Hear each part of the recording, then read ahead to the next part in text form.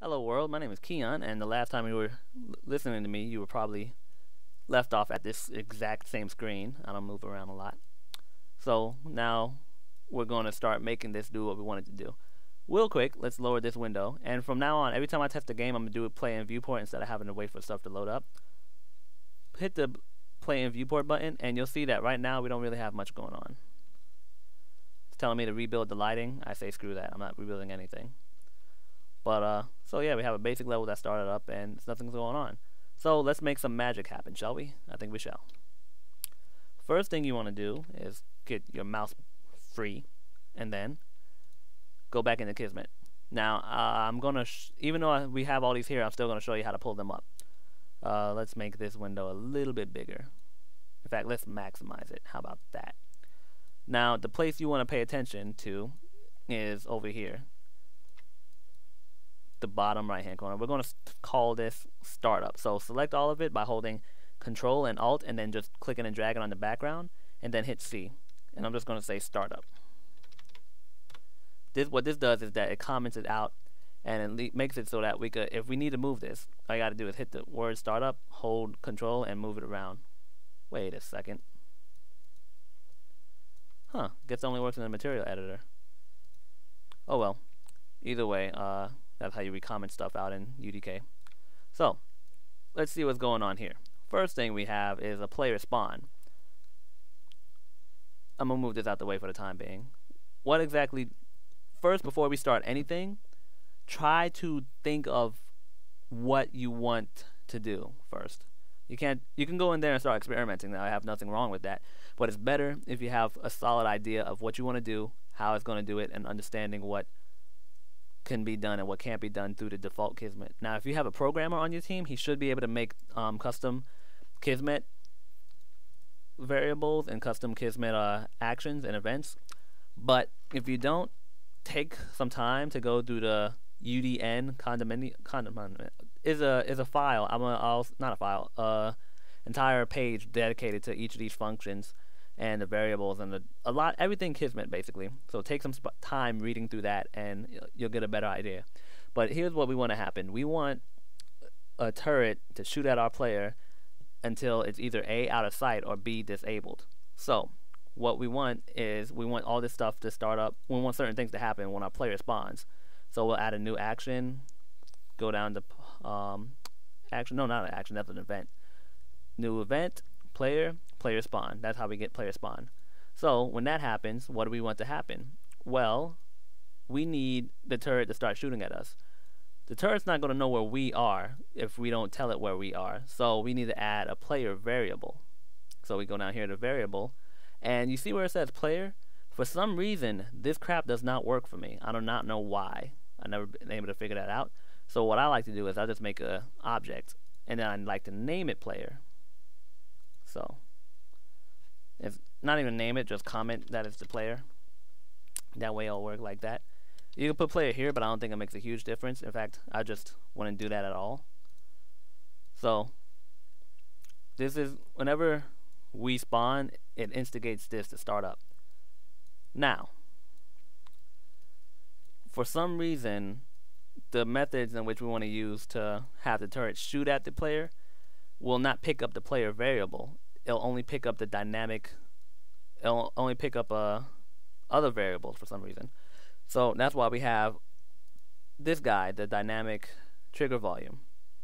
So with it selected in the level, you want to right click the background in Kismet and then add a new object variable using dynamic trigger volume 0 and this is our guy. And what we want to do now is we want to attach him to here. However, in the process of doing that, I learned I picked up something. I don't know if this was mentioned in the tutorial that I saw, but I feel if it wasn't, then I feel cool. But if it was, then credit goes to that guy.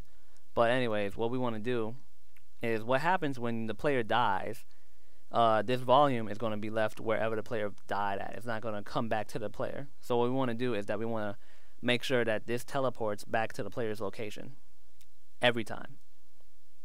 So here's the target and here's the destination. The destination is always going to be the player. Another thing that'll help you remember what you can attach to it is purple, purple, I mean magenta, these things are color coded and it makes life so much easier. So, once the player spawn, we want this to teleport to the player. And it, we would also like for it to attach to the player. So the tar what we're attaching to is the player, and what we want to attach to the player is a Dynamesh. I mean not Dynamesh, dynamic trigger volume. And then we make sure these two are connected too, because if these aren't connected, no information is coming from point A to point B, and you need something to start up. You know something's a startup because it'll have nothing on this side usually. In fact, I'm pretty sure 99% of the time, but I'm not 100% sure, so I'm gonna have to stick with 99. Now, this light, we added it and made it movable so we could actually visually see what's going on. Because this could be all working right now, but we won't know because we can't see it with our own eyes. So add a new object variable using the point light. You know how to do that. And go ahead and attach it to the player as well. So, and then of course we need to make sure that this action starts up. So just for the hell of it, bring split teleport up into two. Now, of course, making it look visually easy to read is a plus, but since we're doing a tutorial real quick, we're just going to get down and dirty. So, let's go in and play the game. Best thing about Kismet is that you don't have to compile anything. You just go in, mess with stuff, and then go back into the game. But before we start, we got to do something that's very important, and if you haven't done it already, shame on you. I'm going to show you what we need to do. We got to go over here and save. I'm just going to call this tutorial for dudes. Make sure you save frequently and incrementally also. I'm not going to do it for this tutorial, but make sure whenever you work in real life, you save in increments. So that way, if you F up something, you could just go back to an earlier increment and prevent the F up. Because sometimes, sometimes you mess up files beyond relief, beyond repair. Okay, so we see that we've spawned, but we, one, didn't spawn at the spawn point, and two, the light is not following us. So let's see what's going on here. Actually, I'm going to try something different. I'm going to try playing through this.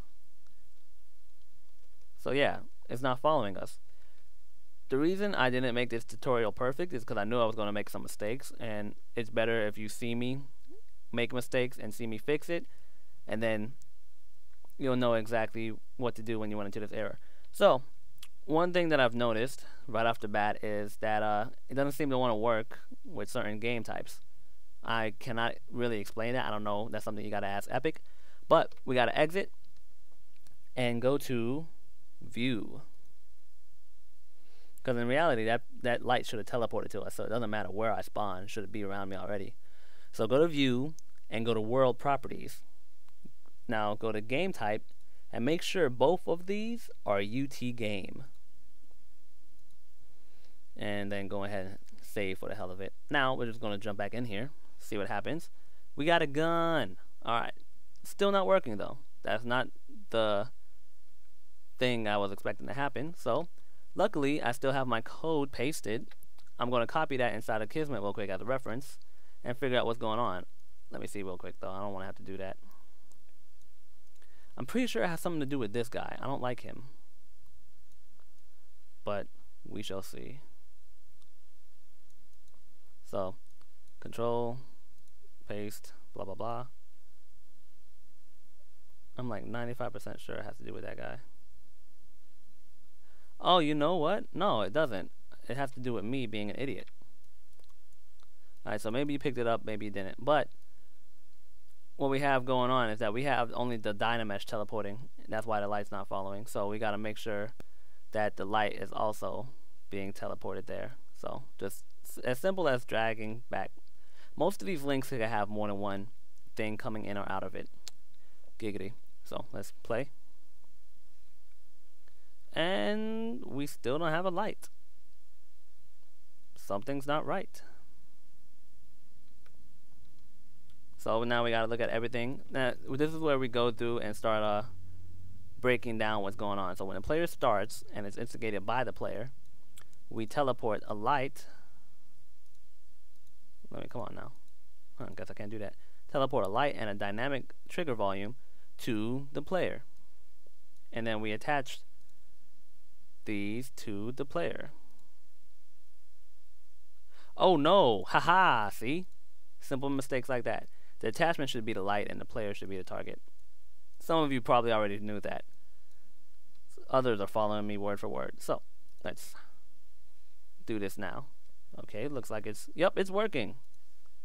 Let me let me get out of this window real quick so I can show you what I'm talking about fully. So yeah, see now whenever we go, the light follows us. So that's just how we know it's working. Another way we know it's working is uh, something that happens in programming that they didn't add until like within the last year with Kismet, and I think it's a pretty good idea. Is the the breakpoints. Now, basically, it's just uh, lets you know, hey, something's working, or th- this is what happens. This is when the information gets sent through here. So what's going to happen is I'm going to add a breakpoint here, and it's going to stop the game once it reaches that. So what should happen is the player spawns, objects teleport to the player, and then this attaches to the player. Done. In order to see breakpoints, you got to enable Kismet debugging, and then start the game up. And see that, that was almost instantaneous because that's how fast the information flows. I'm pretty sure it varies depending on your processing speed and all that good stuff, but I don't know all the little technical details. But that's it for the startup, folks. When I come back to the next video, I'll show you how to create the turret and then how to make the turret kill you. So thank you for watching.